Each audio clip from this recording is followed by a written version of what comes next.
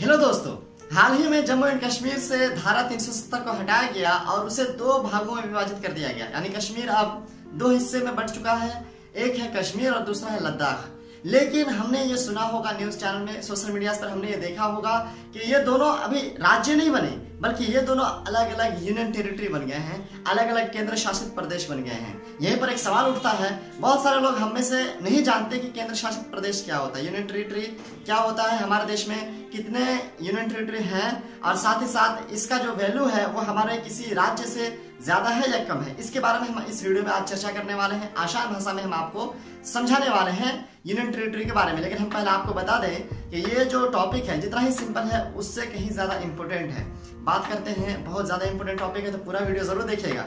और अगर आपने मेरे चैनल को सब्सक्राइब नहीं किया है तो कर लीजिए क्योंकि मैं इस चैनल पर इस तरह की बेहतरीन वीडियोस लाता ही रहता हूँ। और अगर वीडियो पसंद आए तो लाइक कर दीजिएगा, मैं आपको बता देता हूँ। हमारे देश में जो है यूनियन टेरिटरी पहले से ही सात हैं। और अब कश्मीर और लद्दाख को मिलाकर के कुल नौ हो गए हैं। मतलब अब इंडिया में कुल यूनियन टेरिटरी की संख्या नौ है। जीके के लिए भी आप याद रख सकते हैं। अब अगर बात करें कि आखिर ये होता क्या है तो देखिए, जैसे कि नाम से क्लियर है, केंद्र शासित, केंद्र का जो सरकार होगा, वो उस पर शासन करेगा। सीधी बात है। जैसे हम बिहार के हैं तो बिहार राज्य का जो मेन है, मुख्य है, वो है यहाँ के मुख्यमंत्री। मतलब यहाँ के मुख्यमंत्री, यहाँ के कानून में हस्तक्षेप कर सकते हैं। यहाँ के बाकी सारी चीज़ों के जो है जिम्मेदार हैं। इस राज्य के मेन हमारे मुख्यमंत्री उनके अंडर में ये राज्य चलता है। ऐसे ही बाकी राज्य में, जैसे उत्तर प्रदेश हुआ, है ना? उसके अलावा राजस्थान, बहुत सारे राज्य जो भी हैं इंडिया में जितने राज्य हैं वह सारे राज्य के मुख्यमंत्री उस राज्य के फुल जो होते हैं पावर में होते हैं।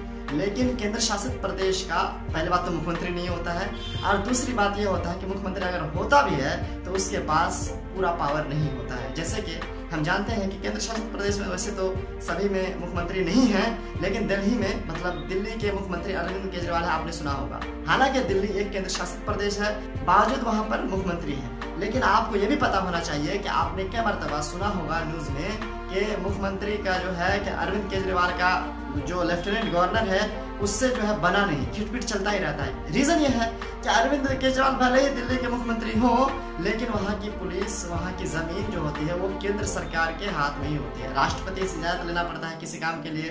राष्ट्रपति की इजाज़त के बिना वहाँ पर नहीं हो पाता है कोई काम। ये समझ लीजिए केंद्र पर भी उसका दबाव होता है हर काम। और क्या सारे फैसले तो केंद्र सरकार से पूछ कर ही लिए जाते हैं और लिए जा सकते हैं। उसके सहमति के बिना मुमकिन ही नहीं है। तो ऐसे में मुख्यमंत्री होने के बावजूद भी उसका पूरा पावर वहाँ पर नहीं होता है। जहाँ एक तरफ़ क्या सारे फ़ायदे हैं यूनियन टेरिटरी बनने का, यानी केंद्र शासित प्रदेश होने का क्या सारा फ़ायदा भी है, वहीं पर क्या सारे उसके नेगेटिव पॉइंट्स भी हैं। जैसे एक राज्य में जो मुख्यमंत्री का पावर होता है, वहाँ पर नहीं होता है, इसकी वजह से भी जैसे अभी कश्मीर में विरोध चल रहा है कि यहाँ पर इसको यूनियन टेरिटरी क्यों किया गया? इसके लिए भी कुछ लोग विरोध कर रहे हैं कि उसे एक राज्य का दर्जा दिया जाता तो वहाँ पर जो मुख्यमंत्री बनते उसका पावर उस राज्य में चलता लेकिन उसको यूनियन टेरिटरी बना देने की वजह से उसका पूरा बागडोर जो है समझ लीजिए केंद्र के हाथ में आ गया है। तो अगर हम सीधे बातों में कहेंगे तो केंद्र शासित केंद्र द्वारा शासन चलाने वाला या चलने वाला ठीक है वो राज्य होता है जगह होती है। अब अगर हम बात करें वो छोटा होता है इस वजह से उसे राज्य नहीं बनाया जा सकता। है ना? ऐसा नहीं केंद्र शासित प्रदेश जो है किसी को भी बना देंगे। नहीं, उसके पीछे भी कैसा रीजन है। अगर हम बात करने जाए तो वो डिटेल बात हो जाएगी यहाँ पर इस वीडियो में। मैं वो बात नहीं करूँगा। एक बात हम आपको बताते हैं, राज्य से केंद्र शासित प्रदेश का वैल्यू कम है, बहुत कम है। इसमें कोई शक नहीं है। यहाँ पर इसमें कोई भी शक नहीं है कि राज्य से केंद्र शासित प्रदेश का वैल्यू कम है। अब हमारे देश में नौ केंद्र शासित प्रदेश हो गए हैं और लद्दाख और जम्मू कश्मीर भी केंद्र शासित प्रदेश बन चुका है। तो हमको लगता है कि आपको छोटे से आसान भाषा में केंद्र शासित प्रदेश के बारे में समझ में आ गया होगा। एक बात हम आपको फिर बता देना चाहते हैं कि वहाँ पर लेफ्टिनेंट गवर्नर होता है। वहाँ पर लेफ्टिनेंट गवर्नर होता है जो कि केंद्र के अंडर में काम करता है। वहाँ पर भी गवर्नर होते हैं, बट मुख्यमंत्री नहीं होते हैं। ठीक है? तो आपको वीडियो कैसा लगा? ये छोटा सा वीडियो, छोटी सी जानकारी आपको कैसे लगी कमेंट कीजिएगा। और अगर अच्छा लगा तो लाइक कर दीजिए। अगर मेरे चैनल को सब्सक्राइब करके जाइएगा, ठीक है? हाँ अगले वीडियो मिलते हैं। तब तक के लिए इजाज़त दीजिए। शुक्रिया।